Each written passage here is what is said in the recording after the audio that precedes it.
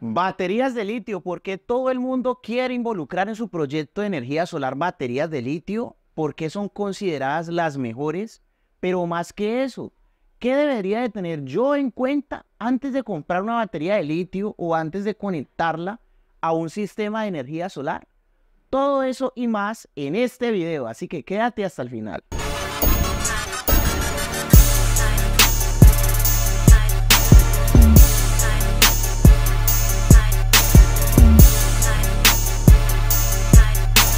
Bueno, las baterías de litio son muy apetecidas porque tenemos una capacidad de aprovechamiento aproximadamente hasta el 80%. Pero más que eso, hay baterías de litio que te dicen lo siguiente en la ficha técnica. Vea, es que usted puede aprovechar hasta el 80% y va a poder tener 6000 ciclos. Uy, pero 6000 ciclos, ¿en serio? Pero entonces, 6.000 ciclos, ¿a qué se refiere? Si nosotros utilizamos un ciclo por día, 6.000 ciclos dividido entre 365 días, nos va a dar aproximadamente 16 años de vida útil una batería de litio, mientras que una batería en gel o AGM nos podría dar aproximadamente unos 1200 ciclos o 1400 ciclos por lo general. Y 1400 ciclos dividido entre 365 me va a dar más o menos unos 4 años de vida útil. Las baterías en gel o las baterías en AGM. Entonces, por eso se recomienda o por eso todo el mundo quiere comenzar a involucrar baterías en litio.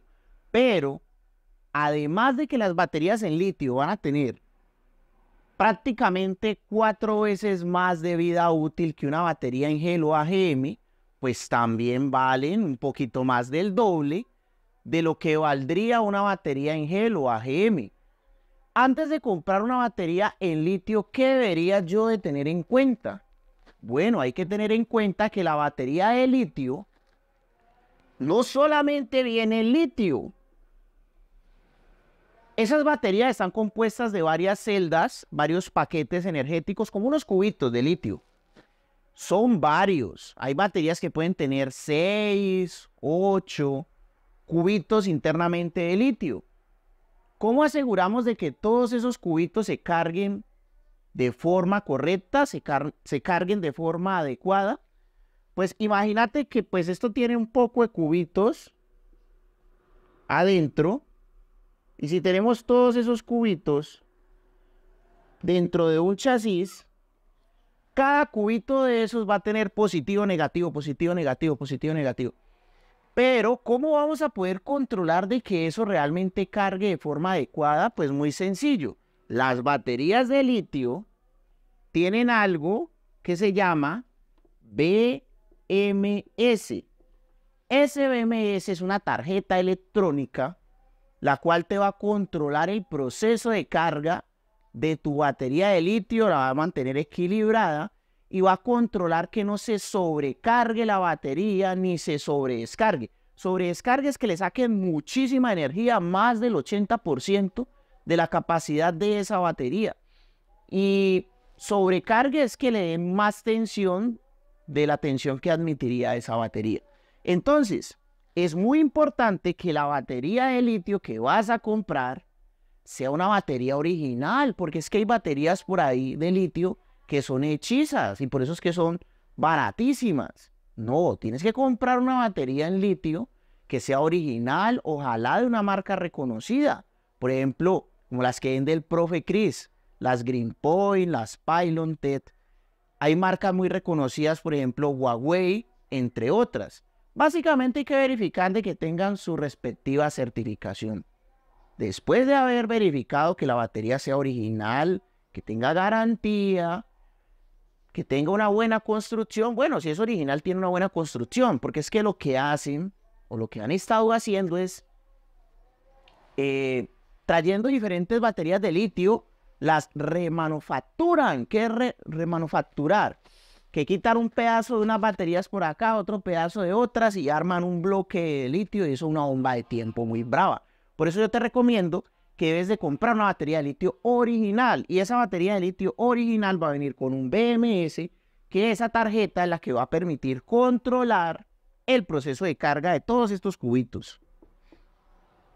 Ya cuando tengas claro eso, el BMS, ahora tenés que mirar que el controlador de carga que vas a utilizar para cargar esas baterías sea un controlador de carga compatible con el BMS. Entonces hay controladores de carga que dicen, yo soy compatible con los BMS de Huawei, de Pylontech o de Greenpoint. Eso es lo que tienes que verificar.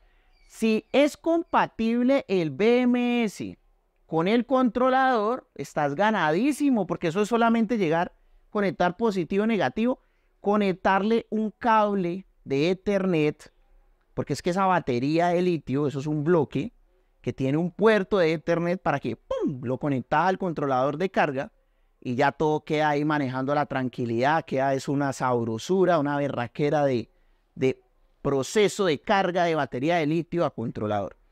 Si no tienes un controlador de carga, hay inversores que se llaman inversores con controlador de carga. Sí, es un equipo que viene todo en uno. Y ese equipo, pues tenés que validar de que el BMS sea compatible con el controlador que tenga el inversor internamente. Si no es compatible, pues tampoco nos vamos a poner a llorar, vamos a decir, no, es que no va a servir. No. Vamos a mirar la ficha técnica de esta batería y vamos a mirar tres tensiones, la mínima, la nominal y la máxima. Con esas tres tensiones lo que vamos a hacer es modificar la programación del controlador de carga, si es un controlador de carga solo, o la programación del controlador de carga del inversor. Establecemos esos parámetros y ya podemos trabajar esta batería de litio con ese controlador. ¿Cuál es la gran desventaja en ese caso? Pues que como el BMS, que es la tarjeta electrónica de esta batería, no es compatible con el controlador de carga, no vamos a saber las diferentes informaciones o diferentes mensajes que podríamos obtener de esa batería, de su estado, proceso de carga, descarga. No vamos a tener muchísima información porque esta tarjeta electrónica no es compatible. Solamente vamos a saber cuál es la carga o cuál es el nivel de carga. Porque es que la mayoría de los equipos de energía solar ya tienen monitor, monitoreo remoto. Entonces, como tienen monitoreo remoto, podríamos ver cualquier cantidad de variables eh, por internet desde la aplicación del controlador de carga o del inversor cargador. Entonces, cuando el BMS no es compatible, no podemos ver eso.